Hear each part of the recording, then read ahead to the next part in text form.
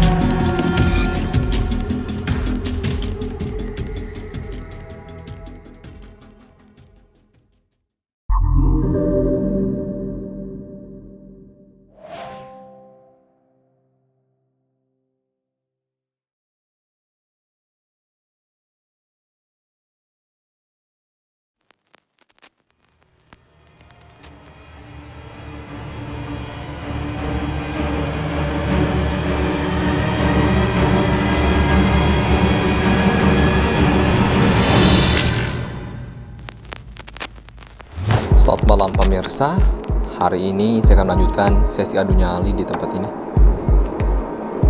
Suara kereta api Rumah ini dekat dengan stasiun. Oke teman-teman Langsung saja saya tinggalkan. Sudah saya Bang Adi silahkan tinggalkan saya. Saya akan melakukan adu nyali. Jadi bang Ya siap. Assalamualaikum warahmatullahi wabarakatuh. Alhamdulillah Assalatu wassalamu ala Sayyidina Rasulillah Muhammad ibn Abdullah Wa ala alihi wa sahbihi wa man wala Oke teman-teman. Hari ini Suara orang lewat jalan raya. Hari ini saya Tepat ada di rumah salah satu Dari rumah angker yang ada di Pulau Jawa ya teman-teman ya. Jadi rumah ini dahulunya dihuni oleh keluarga Tionghoa yang mana dahulunya adalah seorang saudagar juga, seorang pedagang yang kaya raya, tanahnya luas, begitu luas. Hingga pada tahun 98 keluarga ini dijarah oleh beberapa oknum yang tidak bertanggung jawab sehingga satu keluarga dalam rumah ini mati dalam keadaan disekap. Itu sudah sudah lama sekali sehingga rumah ini akhirnya terbengkalai di tahun 2000-an karena tidak ada yang mewarisi rumah ini. Begitu pula dengan tanahnya yang begitu luas. Ya, tanah di bangunan sini tidak ada yang memiliki. Hingga pada saat hingga pada saat detik ini tanahnya pun tidak tidak ada hak miliknya, tidak ada berupa secara otentik ya, berupa surat tanah atau segala macam hingga beberapa warga ada yang memanfaatkan menjadi kebun. Akhirnya tadi kita sempat ke belakang ada kebun singkong. Oke, teman-teman.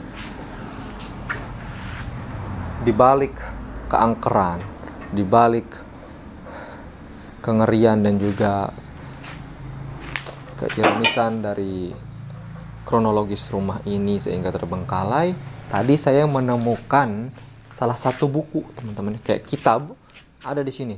Kitab itu diikat, diikat oleh karet berkali-kali. Dan di dalamnya itu ada semacam eh, apa ya kayak barang atau besi atau apa itu dilinting dengan aluminium foil. Itu diikat lagi kemudian. Kemudian diapit oleh si buku itu si kitab tersebut. Tadi saya sempat ya sempat saya buka di Google saya buka saya cari dengan menggunakan Google Image. Ternyata buku itu adalah huh, saya baca lagi tadi. Ternyata buku itu adalah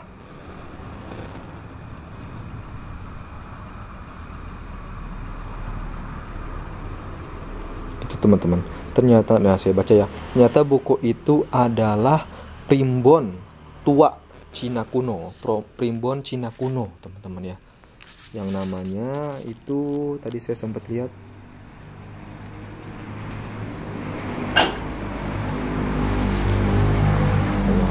suara-suara aneh di sini.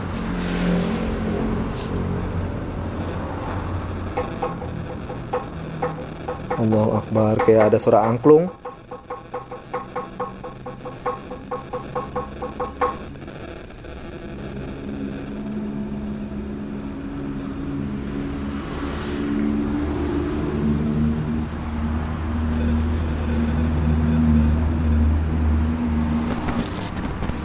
buku primbon Cina tua peranakan. Antik tebal. Oh, jadi ini buku antik ini tadi itu ya. Buku antik sebenarnya itu. Jadi kalau di Jawa itu kan ada primbon Jawa ya. Di Cina pun ada buku primbon Cina.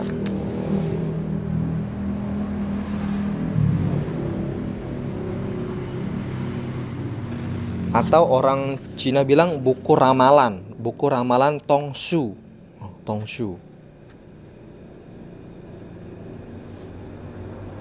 Tongshu ya. coba saya cari ya fungsinya apa gitu ya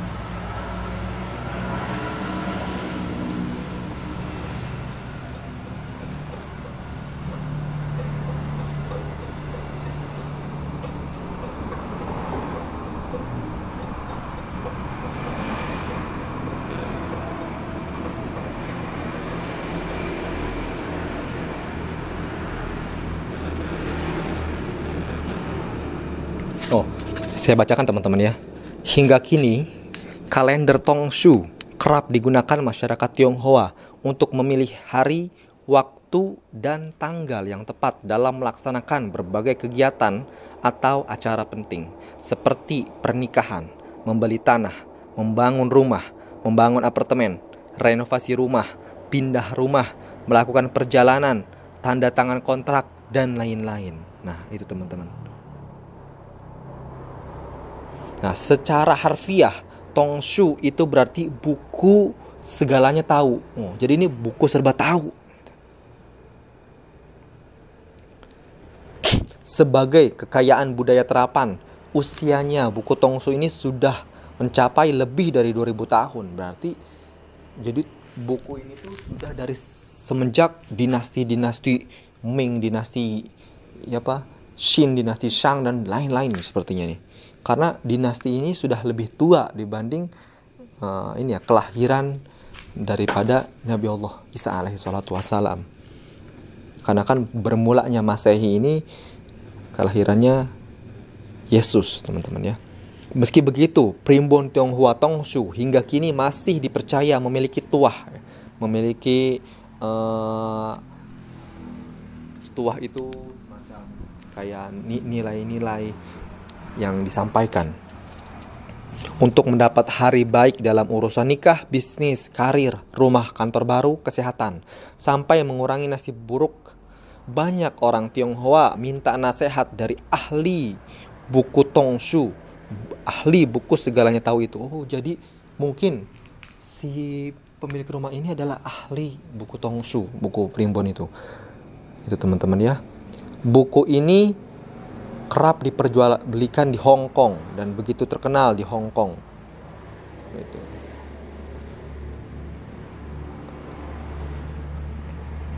Oke teman-teman ya.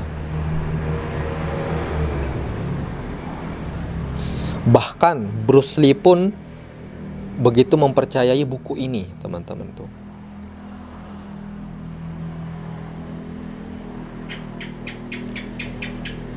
Nama Tionghoa Bruce Lee adalah Li Xiulong yang berarti naga kecil. Setelah berhasil mendapat peruntukan besar dari bisnis film laga. Nah, Bruce Lee memutuskan membeli villa di kawasan mewah Kowloon Tong di Kowloon. Keseluruhan kawasan ini keseluruhan kawasan itu meski cukup populer di kalangan orang Tionghoa, muda dan kaya cenderung ditinggalkan oleh orang-orang Tionghoa tua tradisional karena faktor feng shui buruk. Nah, jadi di disimpulkan menurut para ahli feng shui bahwasanya Bruce Lee ini mendapatkan karma karena tidak mengikuti uh, petuah dari buku Primbon Tongsu ini ya. dan itu saya pun tidak tahu benar atau tidaknya itu mungkin hanya uh, hipotesa dari beberapa orang ya gitu ya teman-teman ya jadi saking dihormati dan diikuti buku petuah Tongsu itu ya teman-teman ya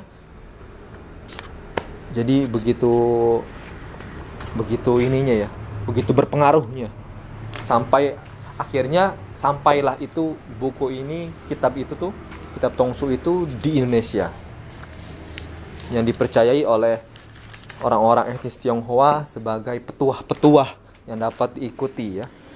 Jadi tidak hanya orang Tionghoa ya teman-teman yang mempunyai buku primbon, orang Jawa pun biasanya mempunyai primbon ya yang disebut menghitung weton. Kalau pengen menikah gitu kan. Sampai detik ini pun ada beberapa orang-orang tua dahulu, orang-orang Jawa kuno yang yang bisa menghitung weton. Jadi untuk membangun rumah, untuk menggali sumur ya, kemudian untuk menikah itu perlu adanya weton kalau orang Jawa. Tidak sembarangan. Begitu pula orang Tionghoa.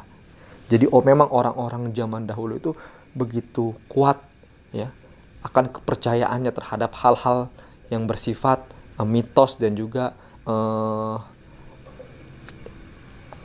astral gitu ya. Yang, yang bersifat uh, uh, sifatnya adalah uh, yang gaib-gaib gitu teman-teman. Beda dengan zaman sekarang.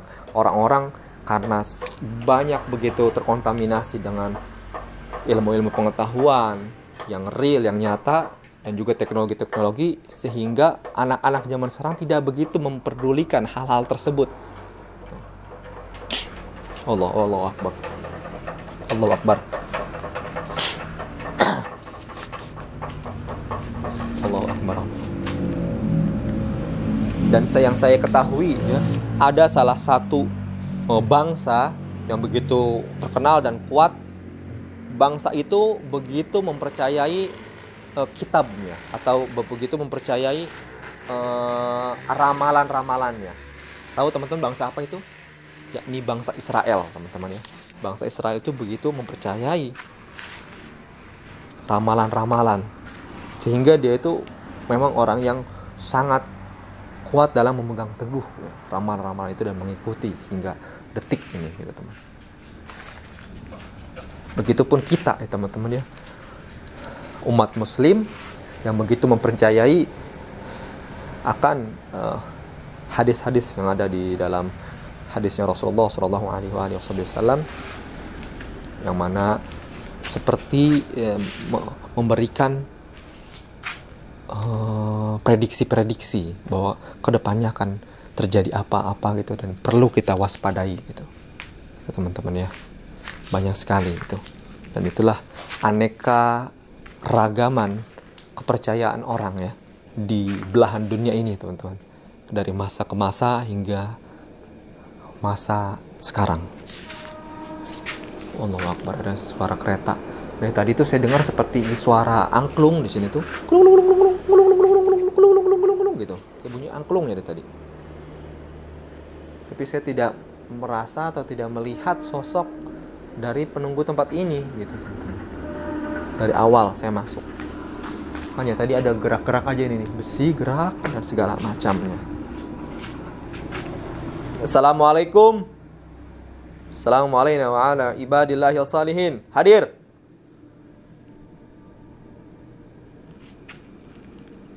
Cici Koko hadir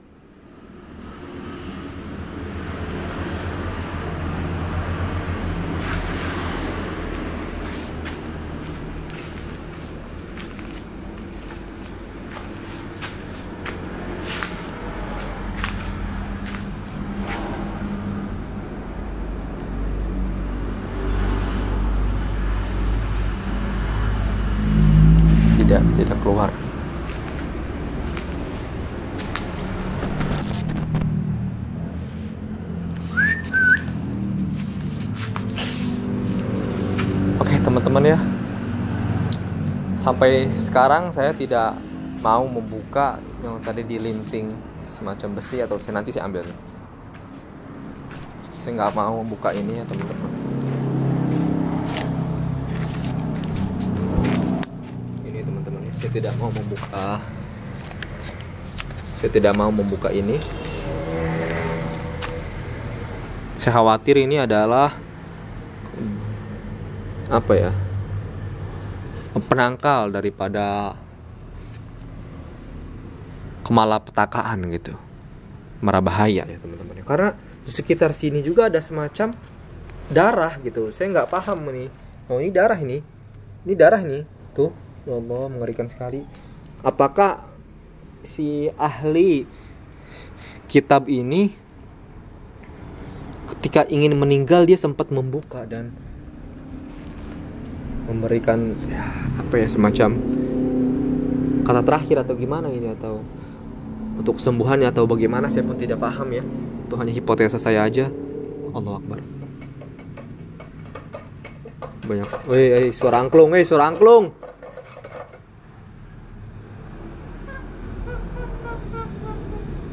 Aduh, udah geluduk-geluduk teman-teman ya. Seperti pengen hujan di sini. Saya taruh lagi nih di ventilasi andai saya bisa membaca kitab ini saya pengen tahu ini artinya apa gitu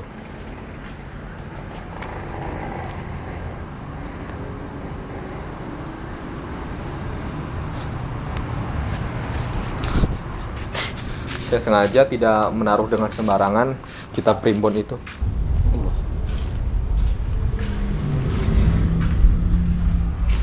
Makasih. Gitu Pak Hadi ya. Udah, itu aja. Tadi saya sempat menaruh lagi ini kitabnya di atas ventilasi lagi karena saya khawatir kalau ditaruh sembarangan kan takutnya itu adalah kitab yang dimuliakan dan suci gitu ya bagi penganutnya. Jadi saya usahakan tetap di posisi atas gitu, tidak terinjak-injak atau tidak sembarangan ditaruh gitu. Oke, teman-teman. Inilah dia unikan dan juga